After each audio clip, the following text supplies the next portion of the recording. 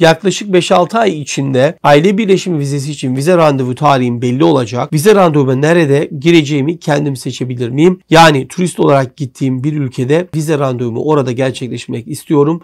Bu mümkün müdür acaba diye bize takipçimiz soruyor. Şöyle söyleyeyim siz hani istediğiniz her ülkedeki Amerikan konsolosluğunda görüşmeye girmeniz mümkün olmayacak.